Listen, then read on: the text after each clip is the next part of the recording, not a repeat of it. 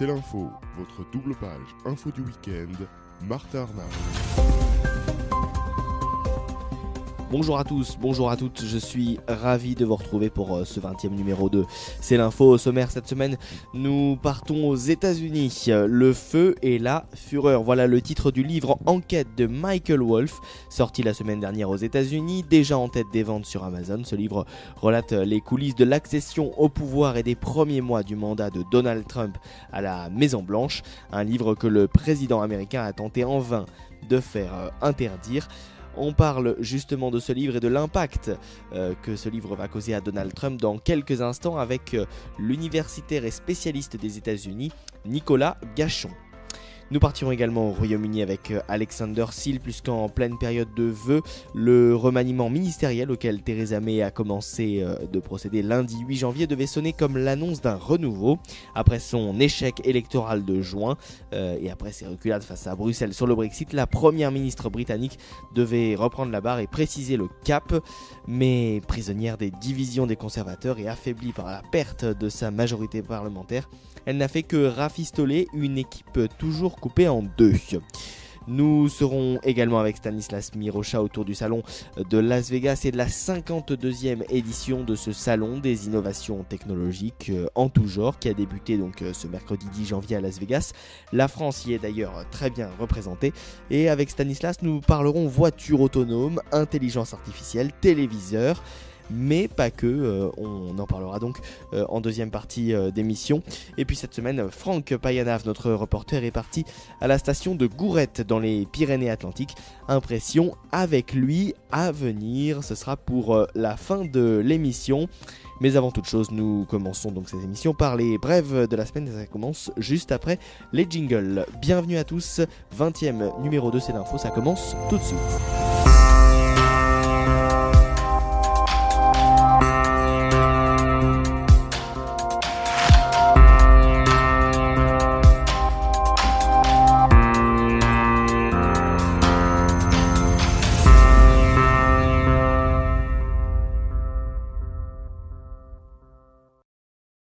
Et dans l'actualité, euh, cette semaine, tout d'abord, la Chine. Emmanuel Macron et Xi Jinping ont annoncé mardi vouloir euh, resserrer les liens entre la France et la Chine face aux grands défis mondiaux. Côté économique, Areva et la filière bovine française ont de quoi euh, sourire. Les, précisions justement à ce sujet de Ludovic Marin. Il était envoyé spécial pour la chaîne France 24.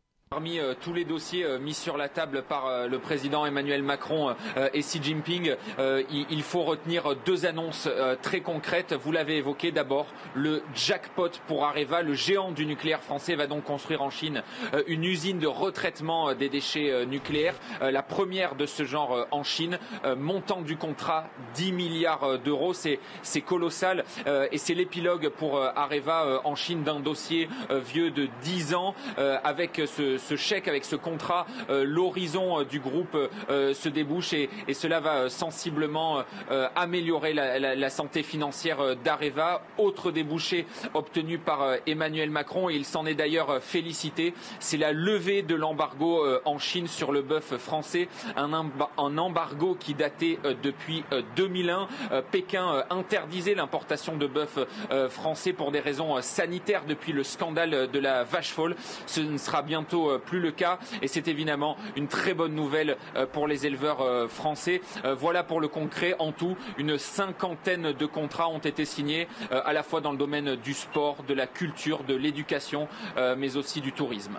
Oui, dans le domaine du tourisme, du sport, de l'éducation, mais également dans le domaine aéronautique. Et oui, la Chine a passé commande de 184 Airbus A320 pour 13 compagnies aériennes et pour une livraison 2019-2020 au prix catalogue. C'est ce qu'a annoncé mercredi Emmanuel Macron. Et donc qu'il s'agisse des euh, confirmations de commandes sur les 184 euh, à 320, euh, c'est quelque chose qui sera totalement finalisé sous peu, mais qui m'a été confirmé par le président. Et euh, nous avons aussi euh, des ambitions sur euh, les moyens gros porteurs, je pense à 350 à 380 euh, dans les semaines et les mois qui viennent. Ouais, l'actualité euh, cette semaine, c'est également la sécurité routière. La France s'est divisée cette semaine autour des routes secondaires et de savoir s'il fallait abaisser ou non la vitesse de 90 à 80 km/h. En tout cas, euh, Édouard Philippe, le Premier ministre, a de son côté tranché. Nous venons de décider d'y abaisser la vitesse maximale autorisée de 90 à 80 km/h. Dans l'ensemble, les experts évaluent que cette mesure peut permettre de sauver chaque jour une nouvelle vie, soit entre 350 et 400 chaque année. La mesure que nous venons de décider s'appliquera dès le 1er, dès le 1er juillet 2018 Voilà donc, hein, vous l'avez compris, euh, Édouard Philippe déterminé à faire passer euh, cette mesure. Le Premier ministre qui affirme également que cette limitation est sans lien avec une quelconque euh, motivation financière. Il a aussi annoncé la création d'un fonds d'investissement pour la modernisation des, structures sanitaires et, et médico-sociales, un fonds doté de l'intégralité des recettes supplémentaires générées par les limitations à 80 km/h. En tout cas, est-ce que euh, ces limitations à 80 km/h seront euh, porteuses euh, et eh permettront de limiter le nombre de morts sur les routes? Chacun euh, se fera évidemment euh, son avis, conducteur, pas conducteur. Euh, il est difficile d'arriver à trancher. En tout cas, n'hésitez pas, vous, auditeurs de C'est l'info, à réagir à cela.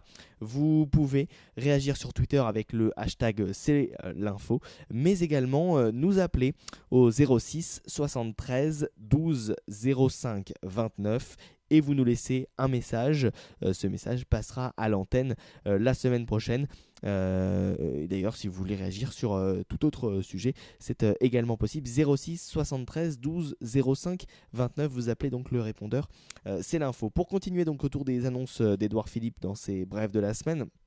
Edouard Philippe a également annoncé le développement d'éthylotests anti-démarrage. Il a en effet annoncé que toute personne dont le permis aura été retiré deux fois pour conduite en état alcoolique devra installer dans son véhicule un EAD ces éthylotests donc anti-démarrage qu'utilisent aujourd'hui par exemple les, chauffeurs de bus. Il a également annoncé que les, conducteurs contrôlés avec plus de 0,8 g d'alcool par litre de sang, dont le permis a été suspendu une fois, pourront conduire le temps de cette suspension avec un véhicule équipé euh, d'un euh, EAD. Le permis d'un conducteur sera également euh, retenu lorsqu'il tient son téléphone en main et commet en même temps une infraction menaçant la sécurité d'autrui. Exemple tout simple, hein. vous êtes donc au téléphone et vous grillez un stop, votre permis vous sera alors retiré dans l'immédiateté pour une durée pour l'instant non définie en tout cas. voilà. on a compris que cette semaine, Edouard Philippe était donc prêt à euh, se mobiliser euh, pour faire baisser le nombre de morts. Edouard Philippe qui, euh, à l'instar d'Emmanuel Macron qui est en Chine, avait donc ce genre de problème à gérer cette semaine.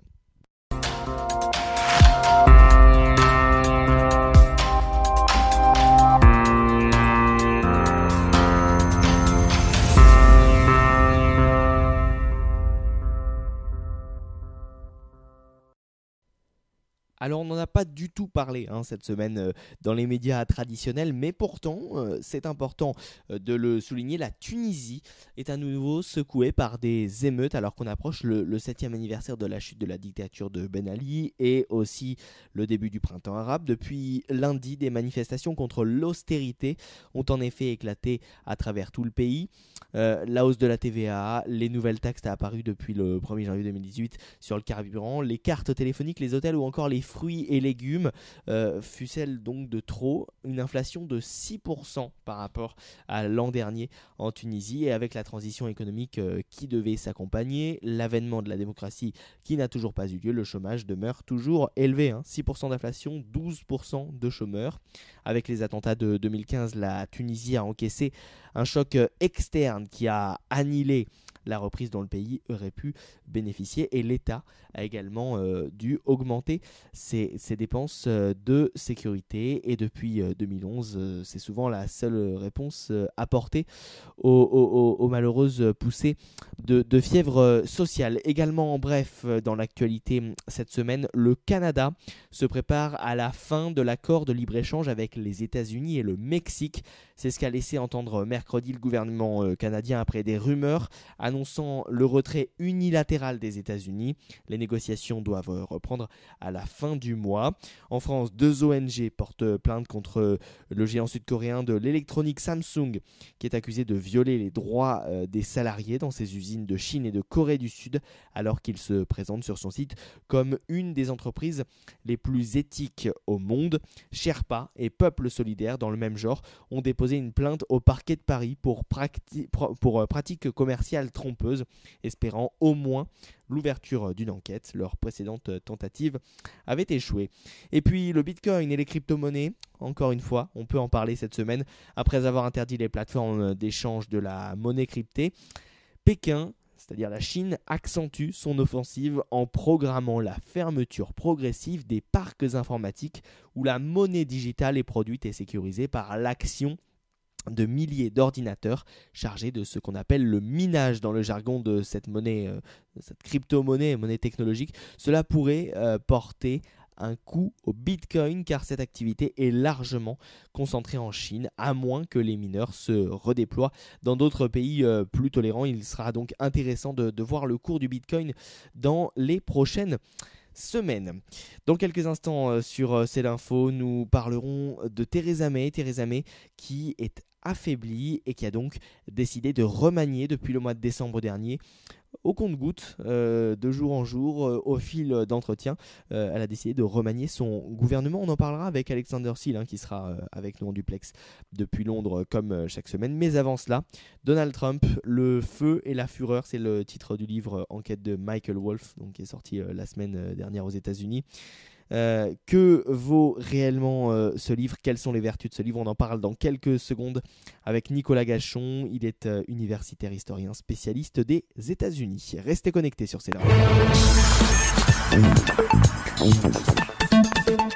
C'est l'info L'invité de la semaine. Le feu et la fureur. Voilà le titre euh, du livre euh, Enquête de Michael Wolff, sorti la semaine dernière aux États-Unis et déjà en tête des ventes sur Amazon. On va en parler avec Nicolas Gachon. Bonjour.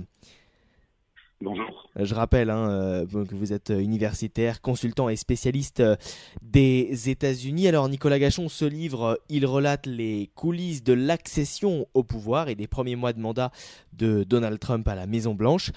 Un livre que le président américain a tenté en vain de faire interdire. Ce livre, donc justement Fire and Fury, a provoqué la couleur de Donald Trump. Peut-il avoir un impact politique? Durable et, non seulement être pourvoyeur, alors on va en parler, euh, d'informations croustillantes.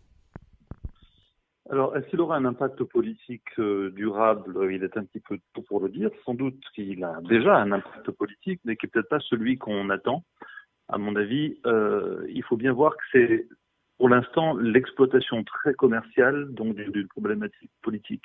C'est un ouvrage dont le contenu n'est pas véritablement inédit. La plupart des révélations ont été assez largement connu.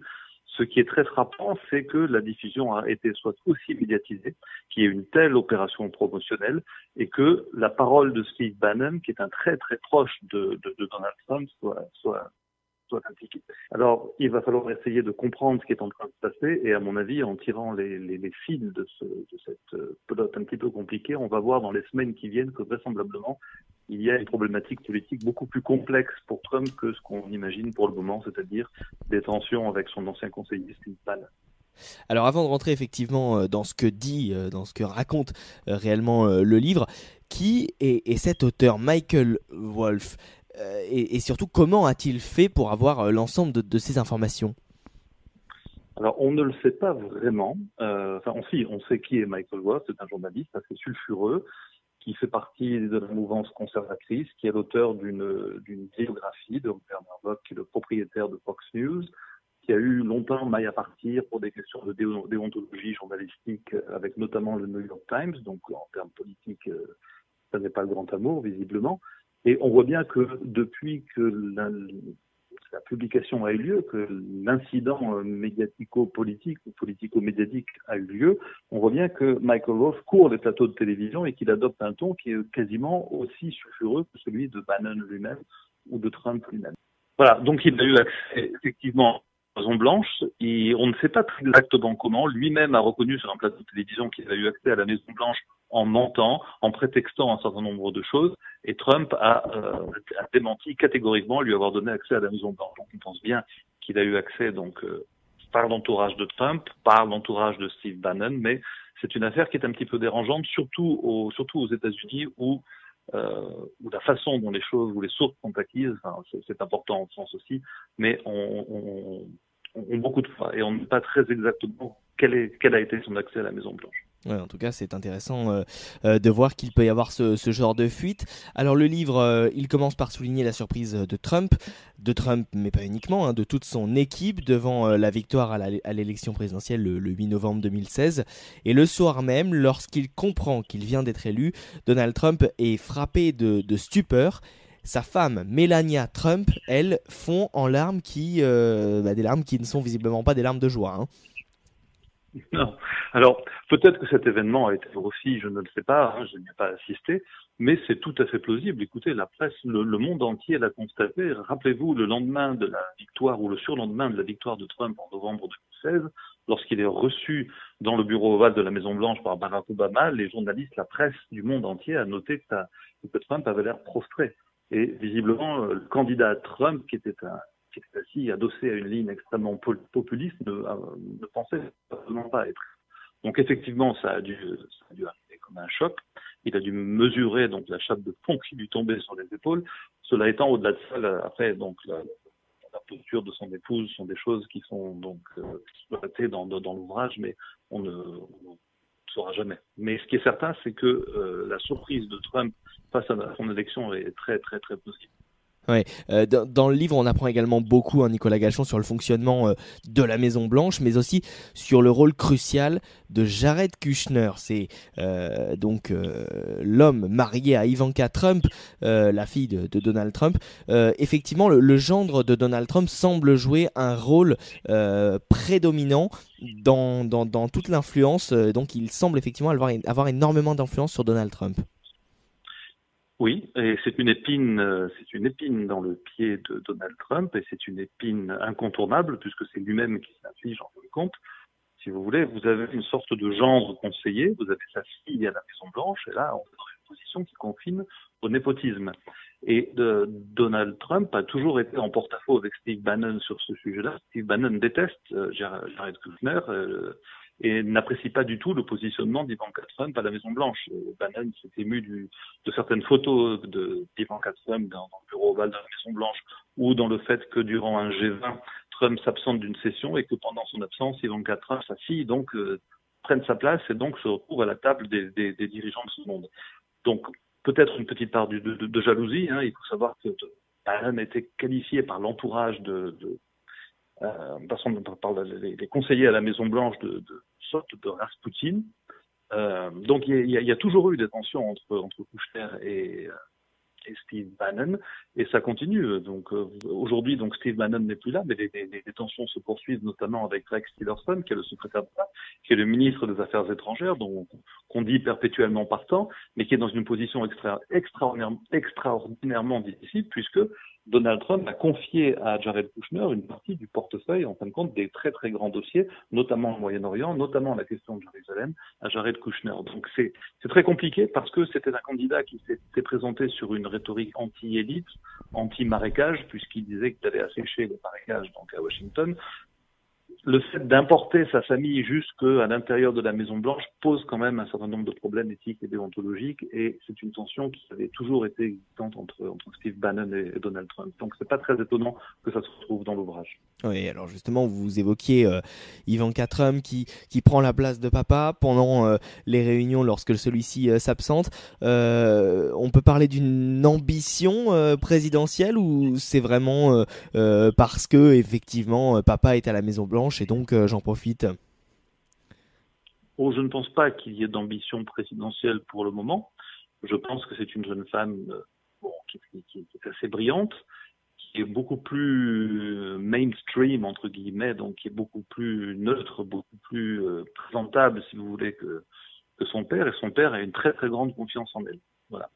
Donc euh, non, à, ce jour, il n'est pas, pas véritablement question et personne ne parle vraiment et personne ne songerait à penser l'ambition présidentielle d'Ivanka Trump. Et puis elle, elle, commet un certain nombre de faux pas Il y a eu un discours d'Oprah Winfrey dimanche soir au Golden Globe, Golden Globe Awards où donc on a commencé, la presse commence à frémir. On se demande si Oprah Winfrey va, va endosser le rôle de candidate démocrate à la présidentielle.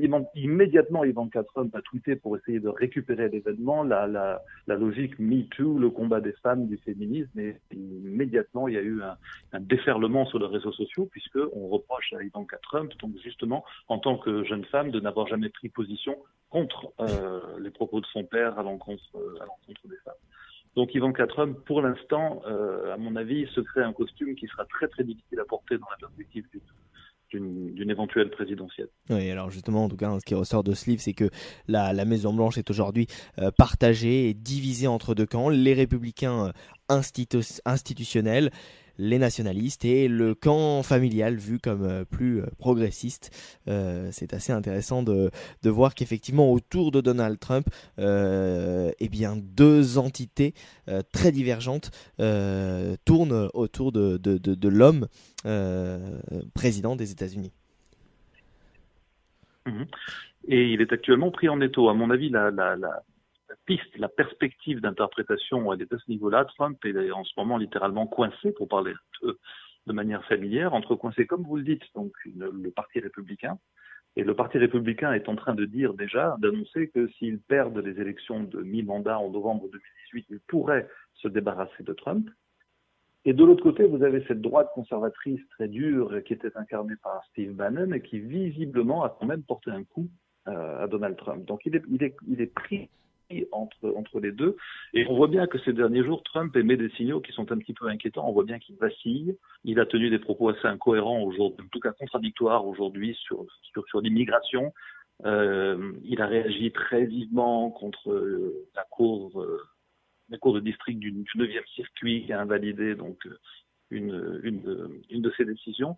On sent que le président est, actuellement sous, une grande tension et il a aussi changer de position, changer de fusil d'épaule sur l'accord de Paris. Oui, on... ce, qui est, très surprenant. Effectivement, hein, euh, euh, on va en parler dans, dans quelques instants. Juste euh, pour terminer effectivement sur ce livre, Nicolas Gachon, on y apprend beaucoup de choses également sur la Russie. vous le savez, hein, l'entourage du président est au, au, au centre d'une enquête menée par le procureur spécial Robert Mueller sur une possible collusion avec la Russie. Stephen Bannon accuse donc Donald Trump de, de trahison pour avoir rencontré des personnalités russes en, en 2016. Est-ce est-ce que euh, les, informations qui sont au sein de ce livre et qui sont euh, euh, compromettantes hein, pour Donald Trump pourraient-ils faire le bonheur du procureur de Robert Mueller? Bah, ça fait déjà un petit peu le bonheur du procureur Mueller, puisqu'il a déjà indiqué hier ou avant-hier qu'il allait demander à rencontrer Trump.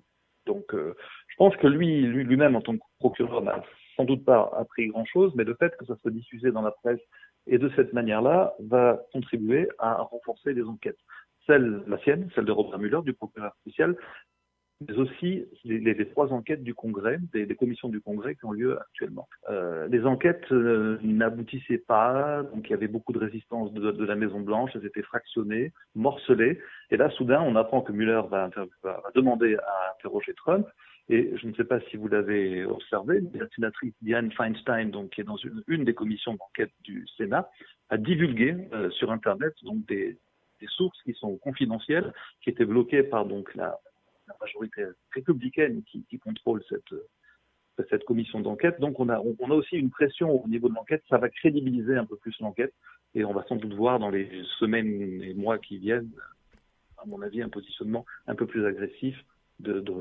Robert Euh, pour en revenir effectivement à Donald Trump, euh, vous le disiez, il a affirmé mercredi 10 janvier que les États-Unis pourraient en théorie revenir dans l'accord de Paris euh, sur le climat.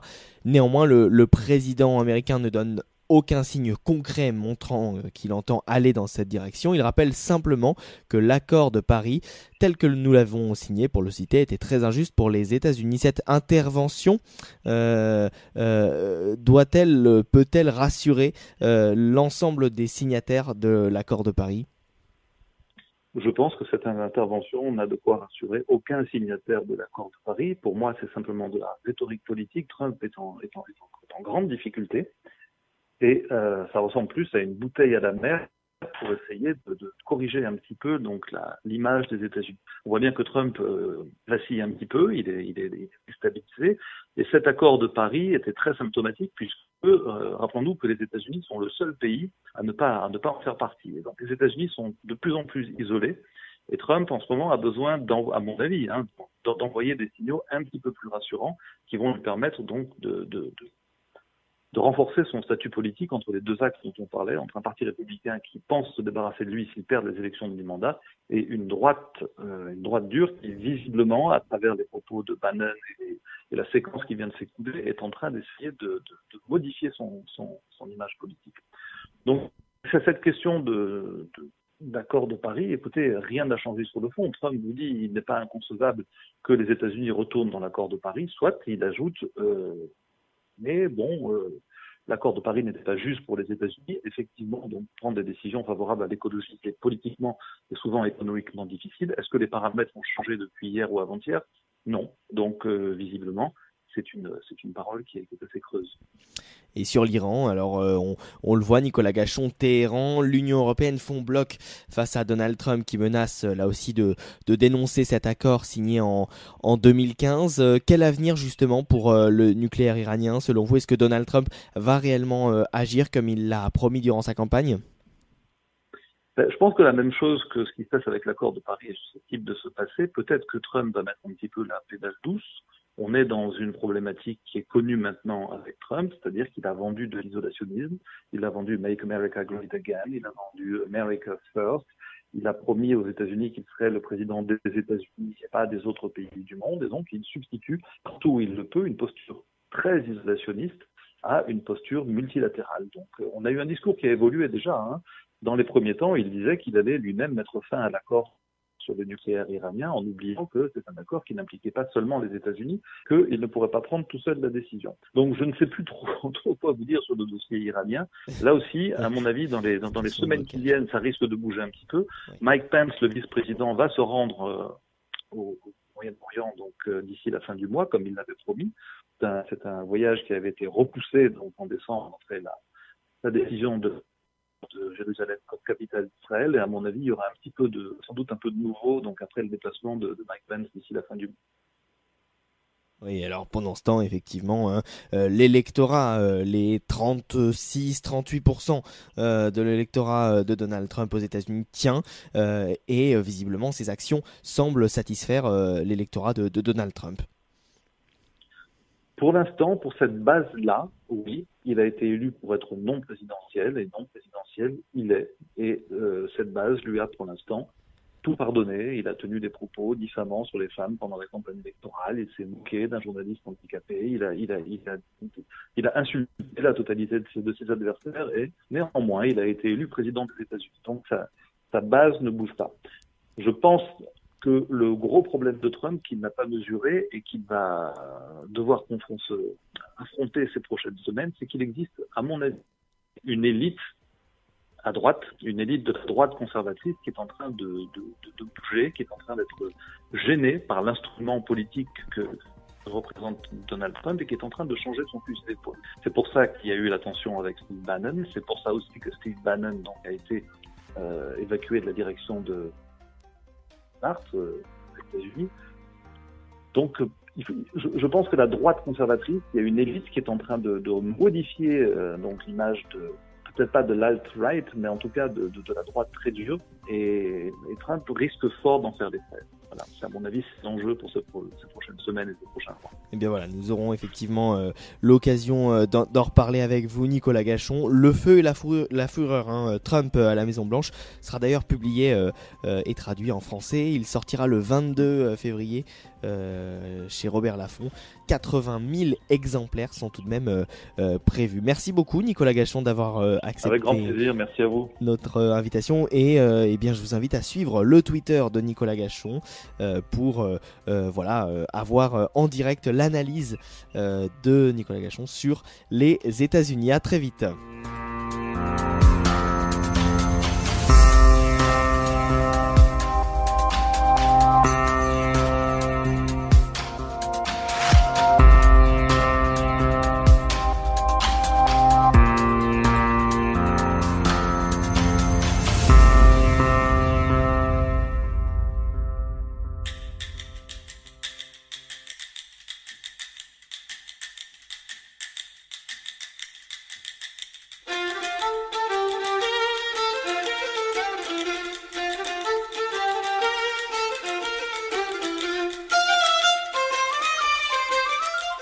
Ici Londres.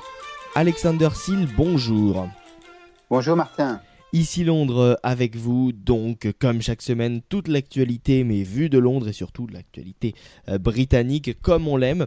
On va parler du remaniement de Theresa May, euh, des conservateurs confrontés à des dissensions internes sur le Brexit, fragilisés par la perte en juin 2017 de sa majorité absolue au Parlement. La première ministre britannique Theresa May remanie euh, son gouvernement dans l'espoir de trouver un nouveau souffle, mais les couacs se multiplient, on va en parler, hein, rendant euh, la tâche pénible. Theresa May a donc procédé, Alexander, à un remaniement gouvernemental en début de semaine.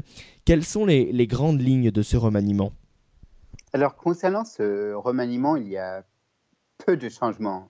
Euh, les, ministres importants comme Boris Johnson, David Davis, euh, Amber Rudd ou Philip Hammond euh, ont gardé leur place. donc, Boris Johnson, le ministre des Affaires étrangères, David Davis, le ministre des Brexit, par exemple, ils ont gardé leur poste. Theresa May, elle a voulu donner un nouveau souffle à son gouvernement, qui était, selon la presse, un gouvernement de chaos après la démission de plusieurs ministres euh, ces dernières semaines, on va en parler tout à l'heure. Mais il aura fallu euh, à la Première ministre toute une journée euh, d'entretien laborieux pour finalement annoncer que la plupart de, ces poids lourds de son gouvernement restaient en place. Donc il n'y a pas eu de vrai changement. Et certains ministres ne voulaient pas changer de portefeuille. C'était le cas de Jeremy Hunt l'actuel ministre euh, de la Santé. Et euh, il s'est fait confier, euh, il est maintenant en charge des affaires sociales et de la santé en même temps. Donc, ce jeu des chaises médicales, en, tout cas, a débuté par une gaffe sur Twitter et, toute la presse a parlé d'un remaniement en chaos. Mhm. Et, alors justement en matière de, communication, hein, on a vu que Theresa May a souhaité effectuer ce remaniement au compte-goutte en annonçant au fil d'entretien, ça fait un mois en fait qu'elle remanie son gouvernement, euh, des, changements. Pourquoi adopter une telle stratégie? D'abord parce que Theresa May, elle a eu une année 2017 très compliquée après des élections législatives euh, ratées, des négociations sur le Brexit qui étaient très tendues et compliquées des démissions de ministres euh, et des critiques après les attentats et l'incendie de la tour Grenfell en juin dernier. Donc je crois qu'elle voulait euh, démontrer euh, qu'au début de la nouvelle année, elle pourrait peut-être prendre tout en main avec un peu plus d'autorité, on peut dire. Mais rien n'a été cela. rien ne s'est passé comme prévu. Oui, exactement, parce que euh, tous les ministres euh, ne voulaient pas partir, donc euh, Theresa May n'avait pas d'autorité. Donc elle était un peu faible. Elle avait une c'était une opération de faiblesse, contrairement à cette opération d'autorité qu'elle a voulu démontrer en fait. Oui, et, alors quel est désormais l'objectif du, principal parti conservateur de Theresa May? Son objectif vis-à-vis -vis de ce remaniement, redorer son image, montrer que le parti est toujours là? Donc euh, oui, euh, exactement. Donc elle veut d'abord euh, rajeunir son gouvernement et, le diversifier en, tout cas. elle veut que ce soit paritaire aussi. Et donc ce changement est censé donner peut-être un, nouveau souffle au gouvernement ce début d'année, avant la prochaine phase de négociation du Brexit avec Bruxelles en janvier.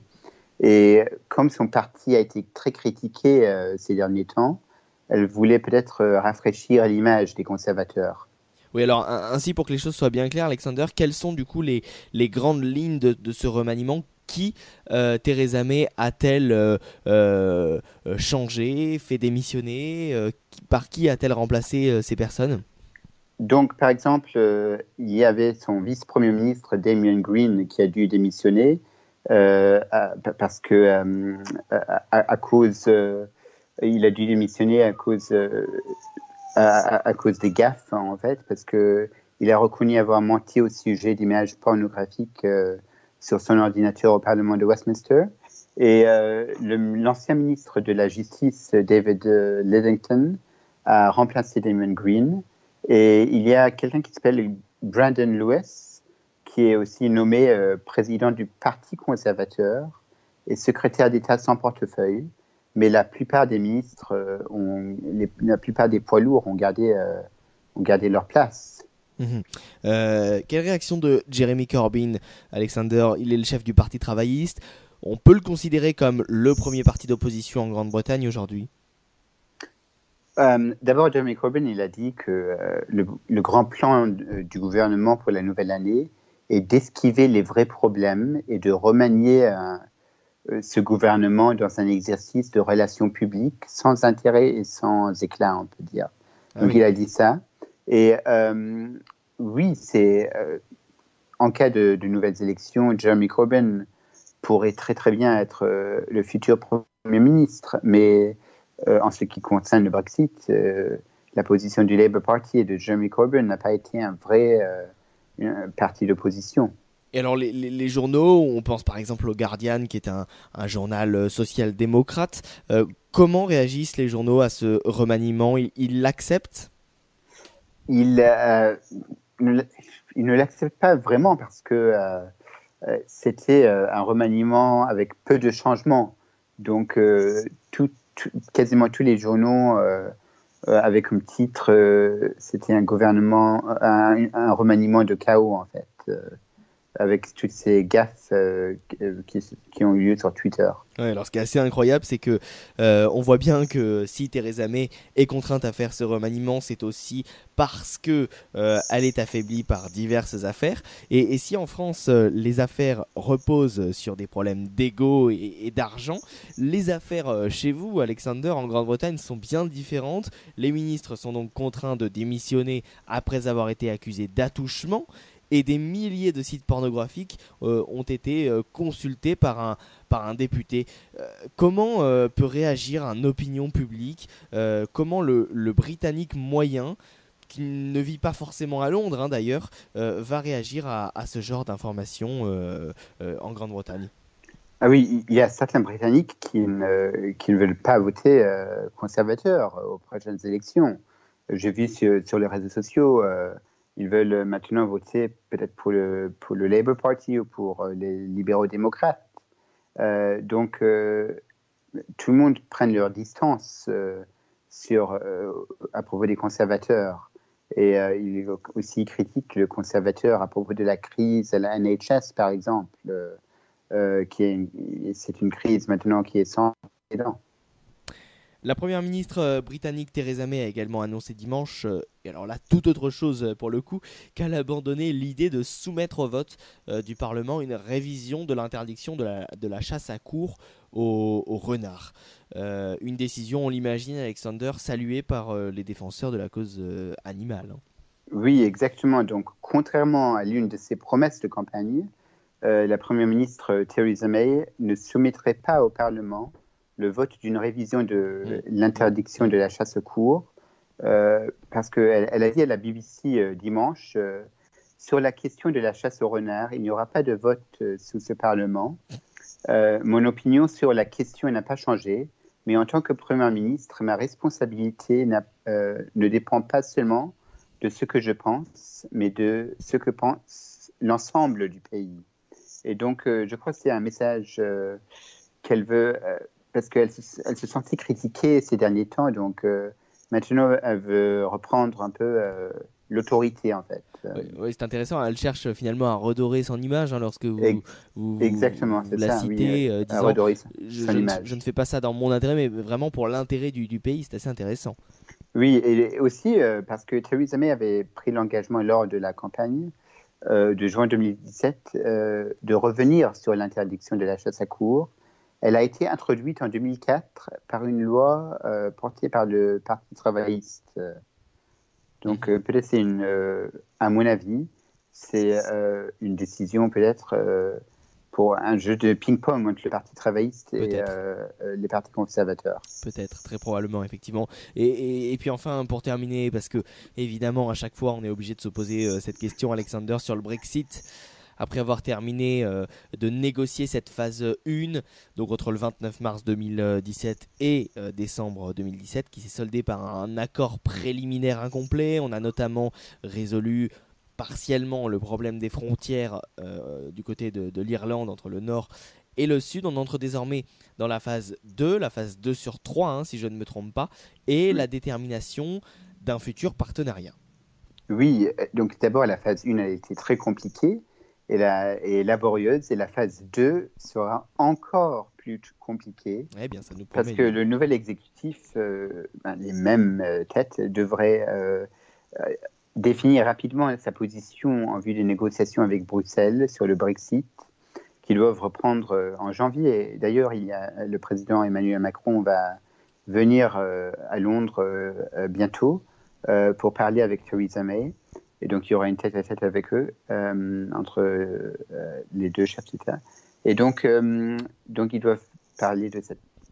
donc, le nouvel exécutif doit parler sur la période de transition et, euh, en mars, à propos de la future relation commerciale entre le Royaume-Uni et l'Union européenne qui pose déjà beaucoup de problèmes.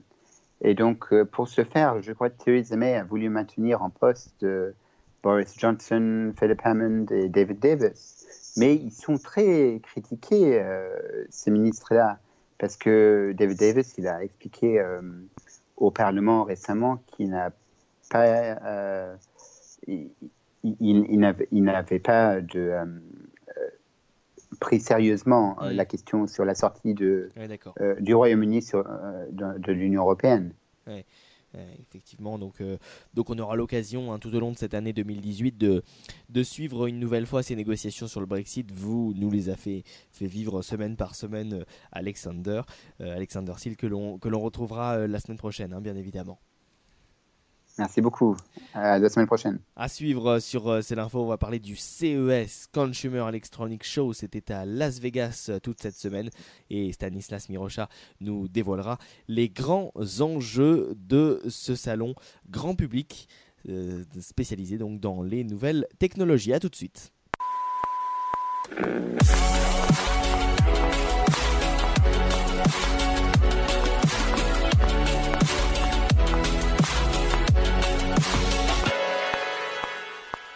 IT News euh, à présent dans C'est l'info. Nous sommes avec Stanislas Mirocha. Bonjour Stanislas. Salut Martin.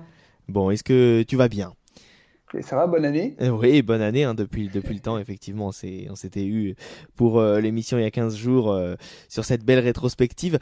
Alors, cette fois-ci, Stanislas, on va parler du CES, le Consumer Electronic Show, qui est bah, tout simplement le plus grand salon consacré à l'innovation technologique et électronique grand public.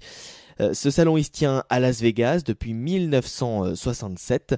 Alors cette année, euh, Las Vegas a été perturbé euh, notamment à cause de nombreuses inondations et puis eh bien lors de la journée du jeudi, pendant plus de deux heures, le hall central a été privé d'électricité. C'est un comble quand même pour pour un salon de, de l'électronique.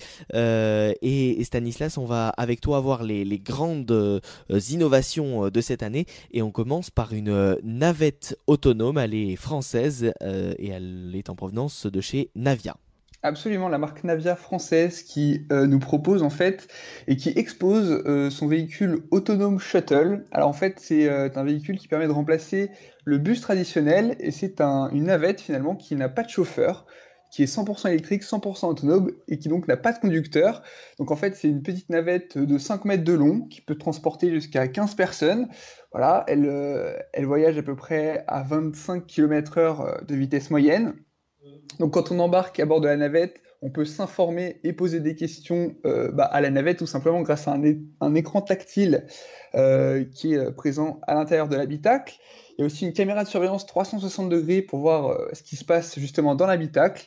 Évidemment, pour des raisons de sécurité, euh, l'autonome shuttle possède deux boutons d'arrêt d'urgence et un interphone d'urgence pour prévenir le secours euh, si jamais il y avait besoin. Donc cette navette autonome shuttle est déjà testée à Lyon et est présente dans plusieurs pays dans le monde. Elle effectue des trajets, par exemple, entre les différents terminaux d'aéroports, différents secteurs d'hôpitaux, dans les parcs publics ou encore dans les campus universitaires et elle est présente en, en France, à Lyon-Confluence et à Paris, euh, dans le quartier de la Défense. Oui, c'est assez euh, euh, impressionnant, Stanislas. Et, donc, eh bien, il y avait de la concurrence également avec là aussi un taxi autonome. Alors, ce n'était pas une navette, c'était un taxi et ça, ça, ça vient de chez Lyft. Oui, alors il faut savoir aussi que Navia en plus du shuttle, a son, sa version cab, donc taxi qui est présent aussi en exposition au CES. Et donc, à sa concurrence directe, il y a Lyft, la société de taxi autonome qui a déployé notamment sa flotte en démonstration pour les visiteurs du salon CES avec une flotte de 8 BMW série 5 qui sont équipés de la technologie de conduite autonome. Voilà. Et donc ces navettes transportaient les visiteurs jusqu'au salon. Et euh, Lyft a notamment expérimenté euh, ces taxis autonomes dans la ville de Boston aux États-Unis, avec quand même des chauffeurs qui restent dans le taxi pour des raisons de sécurité parce que c'est pas encore très très au point. Ouais, Lyft qui est euh, aux États-Unis l'équivalent euh, de la société Uber, euh, mais qui pratique tout de même hein, par rapport à Uber des, des prix entre 5 et 10% moins chers. Et, et est-ce que l'on sait quand est-ce que ces navettes Lyft, enfin ces, ces véhicules Lyft arriveront pour tous, pour le grand public, Stanislas? On espère dès l'année prochaine, partout ah dans le monde, en tout cas. Donc les, les, les choses, euh, les choses euh, avancent vite. Les choses avancent vite également euh, du côté de la domotique, un essor de la domotique. Hein. Absolument. Donc en fait, cette édition de CES, c'est très très très axé sur la domotique, notamment sur la maison intelligente et connectée, ce qu'on appelle aussi la maison automatique. Donc c'est vraiment le cœur du salon cette année. Donc on peut évidemment noter dans les, les innovations les assistants vocaux intelligents, on pense notamment à, Google Home ou euh, son concurrent de chez Amazon, qui sont encore euh, euh, qui ont été un grand succès cette année pour les achats de Noël notamment. Ça fait partie des grandes innovations ici présentes au salon. On a aussi par exemple un robot qui s'appelle le robot Buddy. En fait, c'est un assistant domestique qui se balade dans votre maison, qui peut reconnaître les visages de la famille, qui peut tenir une conversation avec vous, qui surveille la maison aussi quand vous n'êtes pas là, et qui peut même lire des histoires à vos enfants. En fait, ce robot, l'entreprise veut encore l'améliorer en ajoutant en fait plusieurs applications pour le robot pour qu'il soit vraiment le plus complet possible et vraiment au service euh, de la famille. Euh, le robot était présent au salon, il est en rupture de stock et euh, le robot vaut 1299 euros à peu près. Donc gros succès pour ce robot assistant domestique. Oui, alors également autre chose, hein, Stanislas, c'est un radiateur, un radiateur électrique et intelligent. Comment ça marche? Oui, le radiateur de la marque Lancet, c'est un radiateur électrique qui est intelligent, économique et écologique. En fait, le radiateur est doté d'une batterie qui se charge pendant les heures creuses du réseau, qui permet donc d'économiser de l'énergie et de l'argent, et qui se décharge en fait aux heures de pointe pour réchauffer la maison. Et euh, il y a aussi la possibilité pour ceux qui possèdent le radiateur euh, d'avoir une application pour suivre l'évolution de sa consommation et aussi de gérer évidemment la température à distance via son smartphone. Oui, Sony a également euh, présenté euh, son robot chien. Oui, Aibo de son prénom, euh, c'est en fait un modèle qui est ressuscité. En fait, Sony l'avait arrêté en 2006. Et donc en 2018, nouvelle version, euh, le robot chien est donc doté d'une intelligence artificielle, de capteurs. Il est aussi doté d'une connexion Internet, donc il peut euh, échanger des informations avec ses congénères, ses autres robots chiens. Du coup, comme ça, il peut devenir plus intelligent. Ce robot est disponible au prix de 1500 euros et est disponible seulement au Japon pour le moment. Vous avez également euh, vu, ou en tout cas lu, Stanislas, d'autres euh, innovations, à commencer par euh, une innovation qui facilitera la vie à vélo. Absolument, beaucoup, beaucoup de gens maintenant se déplacent de plus en plus en vélo, notamment grâce au, vélo en libre service et à l'essor des pistes cyclables. Et donc, il y a un guidon connecté qui, est, qui est présenté au salon qui s'appelle le Wink Bar. Donc ce guidon connecté est équipé de, lumière pour bien éclairer la nuit et c'est surtout son plus grand avantage, c'est euh, que le, cycliste peut être guidé euh, sans regarder son smartphone, en fait, suivre un itinéraire sans regarder son smartphone grâce à un code lumineux qui indique euh, de quel côté tourner sur le guidon. Et il est aussi doté d'un système de géolocalisation pour retrouver son vélo si jamais on vous l'a volé. Des évolutions également en ce qui concerne le, le réseau après la 4G. Voilà la 5G. Oui, évolution logique des choses, la 5G avec euh, son débit qui dépasserait les 10 gigabits par seconde. Cette 5G sera donc expérimentée aux Jeux Olympiques de Pyeongchang en 2018. Euh, et d'ailleurs, cette 5G, c'est un réseau nécessaire pour le bon fonctionnement d'à peu près 90% des nouvelles technologies présentes au salon. Donc voilà, 5G qui serait obligatoire si on veut utiliser les appareils du futur. À savoir que les premiers smartphones 5G sont prévus pour 2019. Euh, pour les... À savoir que les premiers smartphones à savoir que les premiers smartphones 5G seraient prévus pour 2019 en France. Oui, et puis alors Stanislas, euh, au CES, on a toujours euh, l'habitude de, voir de nouvelles télévisions. Et chez les constructeurs euh, Samsung, LG, euh, Panasonic, le but c'est toujours d'avoir euh, la plus grosse.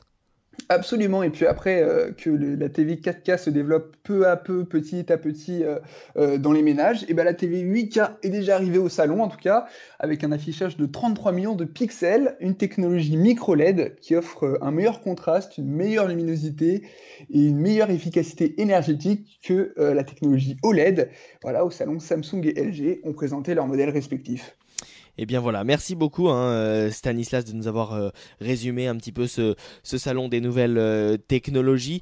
Un, un- un petit chiffre, 275, c'est le nombre d'entreprises françaises implantées au CES, 289 entreprises euh, américaines. Et pour donner un ordre d'idée, il n'y a que 46 startups coréennes, Sud-Corée du Sud, qui, qui sont au CES. Ça prouve Oui. effectivement que les Français sont là. On peut être très fier de notre French Touch. Oui, tout à fait. hein, euh, ce- ce- cette nouvelle euh, French Touch, Mounir Majoubi, euh, le secrétaire d'État chargé au numérique, euh, qui déclarait d'ailleurs qu'il est venu dire qu'il y a en France les meilleures technologies. Est-ce qu'on peut le croire Ça, euh, on aura l'occasion d'en reparler dans les futures émissions. Le prochain grand salon cette année, c'est pour quand? Ce sera à Barcelone dans Oh. les mois à venir Ouais. avec le avec le Mobile World Congress. Voilà, en tout cas, euh, ça promet, on aura l'occasion d'en reparler dans IT News. Euh, merci beaucoup Stanislas et à très vite.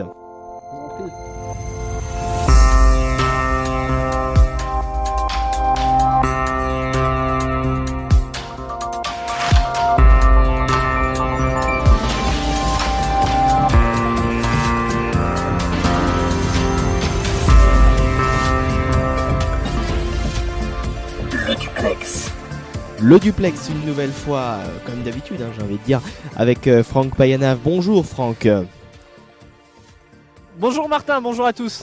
Alors après la plage, euh, la plage mouvementée hein, tout de même euh, la semaine dernière du côté des- de Biarritz, vous êtes euh, à la Gourette dans les Pyrénées-Atlantiques. Exactement, on est à Agourette, une euh, station des euh, Pyrénées-Atlantiques, si ce n'est la, station peut-être la, plus connue du euh, département, avec quand même 125 hectares de domaines skiables et de nombreux skieurs qui font le déplacement tous les jours depuis l'ouverture des pistes au mois de novembre. Les conditions météo aujourd'hui en tout cas, elles sont extrêmement bonnes et on va en parler dans quelques secondes. Oui alors quel est l'état de la neige Franck? Ben alors on peut peut-être euh, dé- déjà parler de la météo, il fait extrêmement beau. Là, il, par contre, le vent commence à souffler donc on sent un peu le froid. Euh, mais en tout cas, voilà, le soleil est là et ce qui fait que de nombreux skieurs sont présents. Et du côté de la neige, eh bien écoutez Martin, alors je c'est de la triche un peu parce que je suis juste au bord de la piste de ski. Elle est euh, assez dure, mais si je me déplace un tout petit peu, je m'enfonce déjà dans la neige et on a de la neige extrêmement molle. Donc euh, donc voilà, de la neige fraîche et de la neige froide. J'ai envie de vous dire c'est logique et c'est de l'hiver. Ouais bah, c'est intéressant. Euh, Ski, vous avez fait un peu de ski Franck euh, justement? Alors on a, on a malheureusement pas eu le temps pour le moment de faire du ski. On va peut-être en- vous réserver une petite surprise pour la fin de ce duplex, mais en tout cas on n'a pas chaussé les skis euh, ce matin. Contrairement aux, écoles de, ski qui sont très nombreuses ici. Euh, Il y en a notamment deux juste ici dans la station de Gourette, plus tous ceux qui viennent de Pau, etc. etc. Pour le plaisir des petits et comme des grands.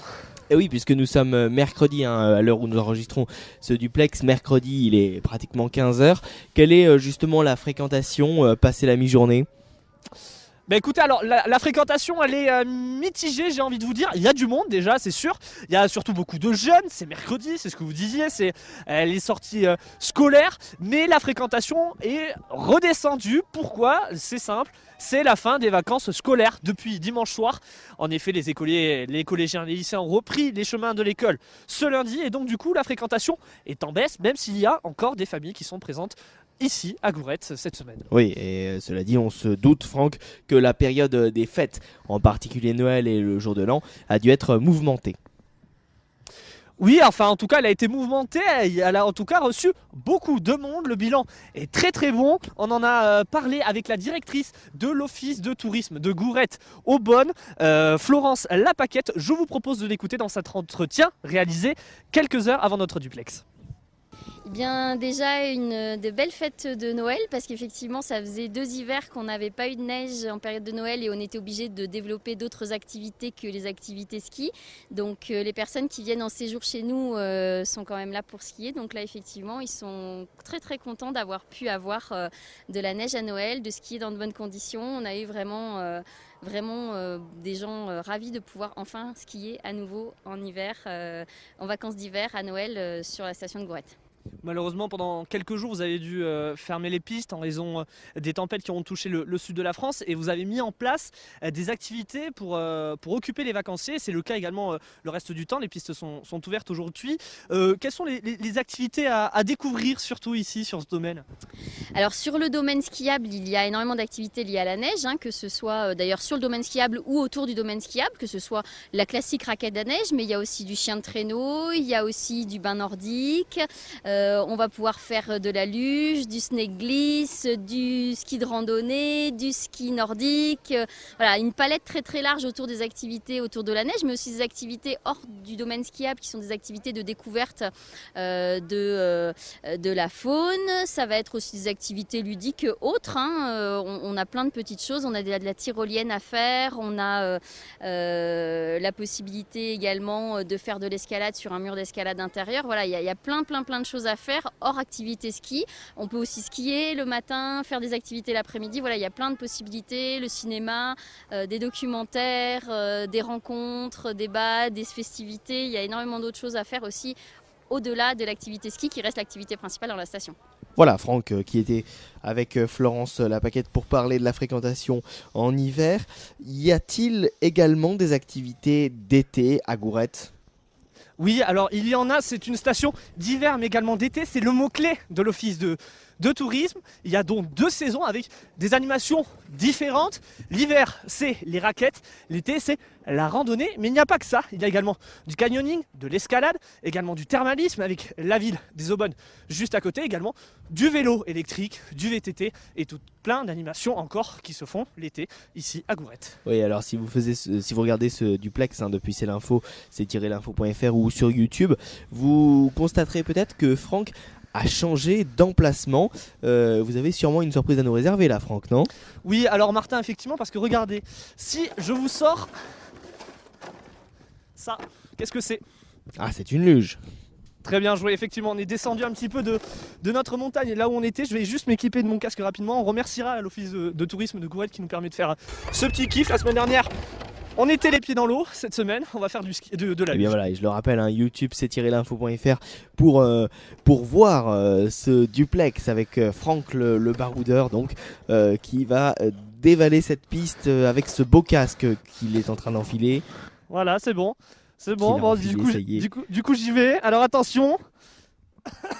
Attendez, Voilà, vous êtes magnifique Franck. Merci Martin, vous êtes gentil. J'espère que ça va vous aider pour descendre cette piste. Ouais, mais j'espère parce que la dernière fois qu'on l'a essayé, on s'est quand même cassé la figure.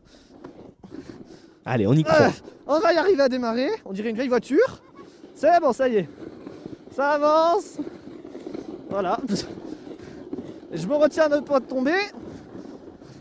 Euh, J'ai pas trois. Voilà, bon.